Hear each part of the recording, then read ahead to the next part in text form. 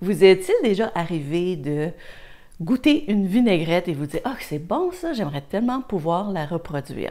Ou d'en faire une semblable? Bonjour, mon nom est Julie Charland et je suis de la chaîne et du blog Un futur simple. Pour moi, c'est arrivé à un moment donné dans un restaurant où j'ai goûté la vinaigrette qui s'appelait la déesse verte. Hum, j'en rêvais, j'en rêvais, je voulais euh, la reproduire. Et puis, euh, je pense que j'ai trouvé comment faire. Alors aujourd'hui, c'est ce que je vais vous présenter, comment la faire à partir de choses que vous avez chez vous, dans votre jardin, euh, de sorte à ce qu'elle soit toujours un petit peu particulière à votre goût, mais si vous voulez la reproduire exactement à chaque fois, ben, vous serez en mesure de le faire.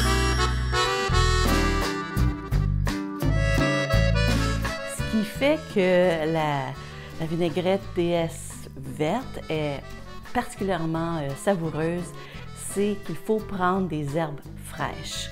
C'est ce qui fait la différence. Puis, il y a plusieurs possibilités. Alors, allez faire un tour dans votre jardin, vous voyez ce que vous allez y trouver. Par exemple, ici, nous avons trouvé du romarin,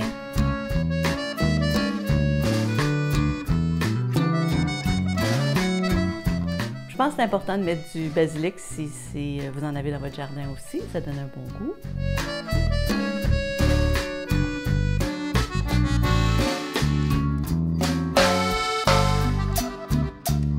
Un brin de ciboulette.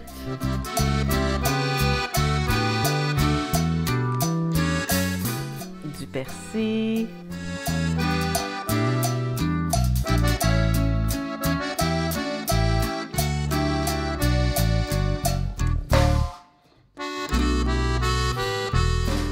De l'origan.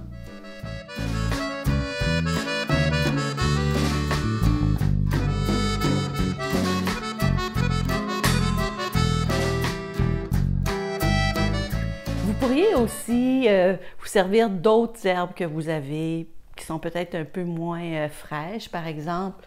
Euh, très fatiguée, mais ça pourrait être de la coriandre fatiguée, euh, si vous, avez de la menthe dans votre jardin ou vous en avez qui traînent, c'est aussi possible. Euh, Et euh, toutes ces différentes herbes vont donner des goûts. Alors, on prépare, on commence par laver.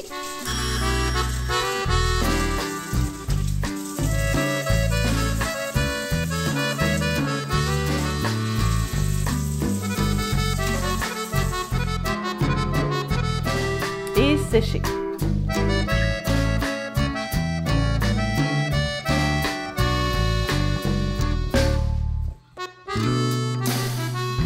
fois que nos herbes sont à peu près séchées ou un petit peu plus, première chose, c'est de s'assurer de ne retenir que les parties qui sont vraiment comestibles. Alors, euh, on peut juste tout simplement couper pour euh, le basilic, les feuilles. Pour le persil, on fait la même chose. On, veut surtout avoir le bouquet. En passant les tiges qui restent, on va pouvoir s'en servir pour faire euh, du bouillon de légumes. J'ai aussi de l'origan. Là, c'est un petit peu plus, euh, plus long à faire parce que les feuilles sont toutes petites. Assurez-vous de ne pas prendre des fleurs s'il y en a, mais que les feuilles.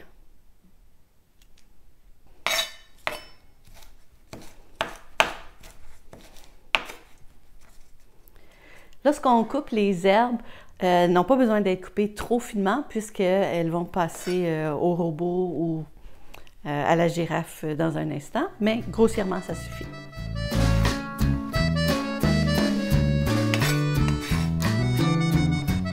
j'ai beaucoup de persil, mais c'est l'un des ingrédients importants. Encore une fois, je le coupe grossièrement. Comprendra pas tout ce qui est ici, mais c'est pas grave. Il a été cueilli, ça va servir à autre chose.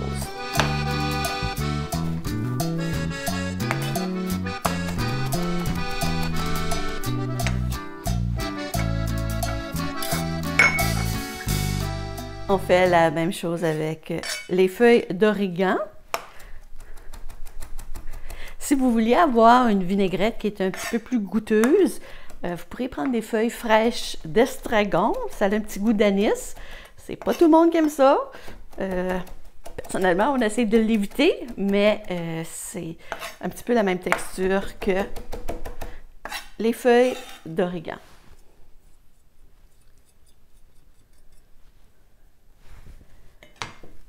On va aussi préparer notre romarin. En fait, dans ce cas-ci, ce qui est peut-être plus facile, c'est juste de enlever les, euh, les petites tiges, à même les branches.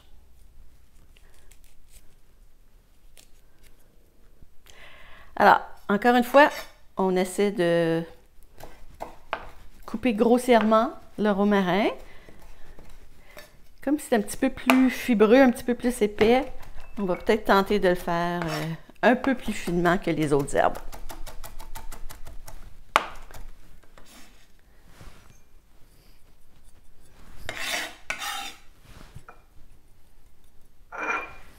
Alors, nos, fines herbes sont prêtes pour pouvoir faire euh, notre vinaigrette déesse verte. En passant, si vous aimez euh, nos recettes, nos vidéos, ne vous gênez pas pour mettre le pouce en l'air, ça nous encourage beaucoup.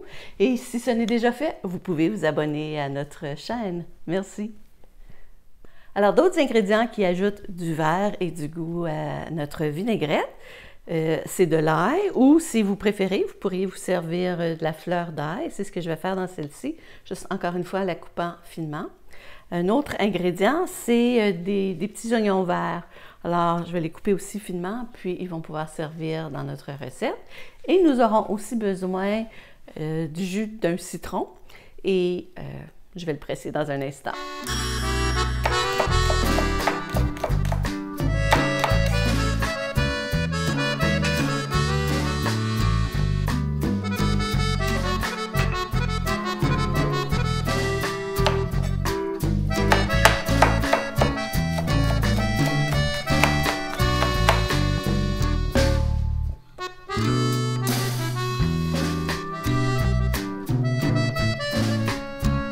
Alors maintenant qu'on a tout préparé, on a euh, l'origan, le pardon, le basilic, le persil, l'origan, le romarin, le jus de citron, la fleur d'ail et les oignons verts.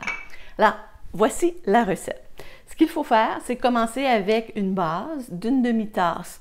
Alors, on peut prendre de la crème sûre, on peut prendre de la mayonnaise, on pourrait prendre du yogourt grec ou une combinaison de ceux-ci. Donc aujourd'hui, je vais le faire avec de la crème sûre et je le mets tout de suite dans ce, cette tasse euh, qui est un petit peu creuse qui va me permettre de pouvoir faire le mélange directement dedans. Alors j'ai une demi-tasse de crème sûre.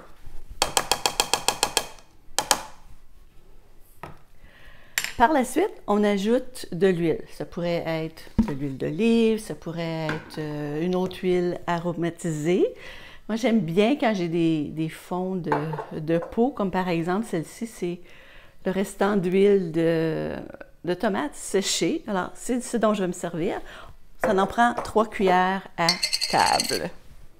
Alors, si je n'avais pas assez, je vais juste compléter avec l'huile d'olive. En prenant une huile qui est déjà un peu aromatisée, bien c'est certain que vous ajoutez euh, de la saveur. Et ça fait que votre vinaigrette n'est pas toujours euh, exactement pareil, mais un petit peu plus euh, original. Donc, on a la demi-tasse de base, on a trois cuillères à soupe d'une huile. Ensuite, on veut rajouter les herbes comme telles. Donc, basilic, j'en mets trois cuillères à table. Mettons, oups, ça c'était une et demie. Bon, on va dire qu'on est à peu près à 3. Dans ce cas ici, on veut rajouter, euh, en fait, j'ai pas, j'ai oublié de parler du jus de citron, alors c'est une cuillère à soupe du jus de citron.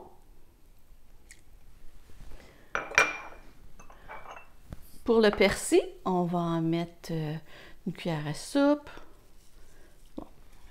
Vous voyez que c'est un petit peu approximatif mon affaire.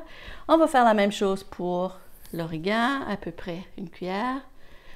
Évidemment, s'il y a des herbes que vous trouvez euh, plus intéressantes que d'autres, bien, euh, vous pouvez en mettre un petit peu plus. C'est certain que des herbes comme le romarin, ça donne beaucoup de goût par rapport ou comparé au persil. Alors, ce qu'on voit, c'est qu'on a notre mélange avec les herbes. Alors, en tout, c'est peu près 5 cuillères à table. Non, 5, 6 cuillères à table de... À soupe, pardon, 6 cuillères à soupe euh, d'herbes qu'on rajoute.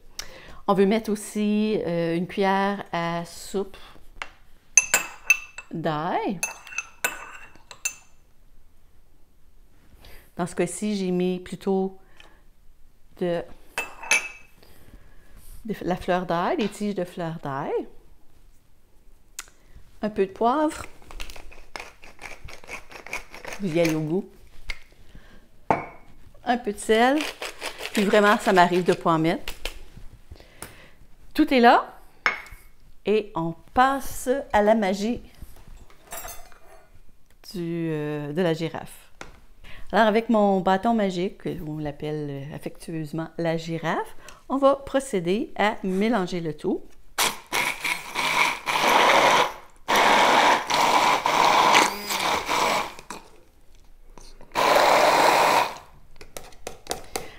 Alors, c'est certain qu'on peut avoir un mélange plus épais, comme dans le moment c'est assez épais. Si vous voulez l'avoir un petit peu euh, plus plus, euh, plus liquide, selon ce que vous allez en faire, vous pourrez toujours ajouter une petite touche de jus de citron. Puis je vous dirais de ne pas en faire beaucoup plus que cette recette-ci parce que euh, on veut garder la fraîcheur de notre recette, donc on n'en veut pas longtemps dans, le frigo. Et voilà, on a une très belle sauce épaisse dans ce cas-ci. Comme je vous dis, vous pouvez encore la, la mincir si vous voulez et elle va pouvoir nous servir euh, à différentes fins. Je vous en parle dans un instant. Ah, je la trouve encore un petit peu épaisse, alors je vais juste y aller à l'œil, ajouter un petit peu, ajouter un peu d'autre huile. Je rebrasse.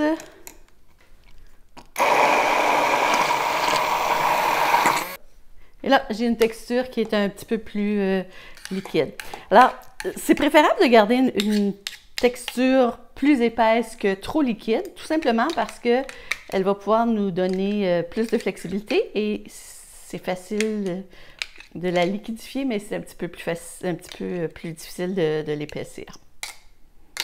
Il s'agit ensuite de, l'entreposer dans un pot hermétique, fermé avec un couvercle.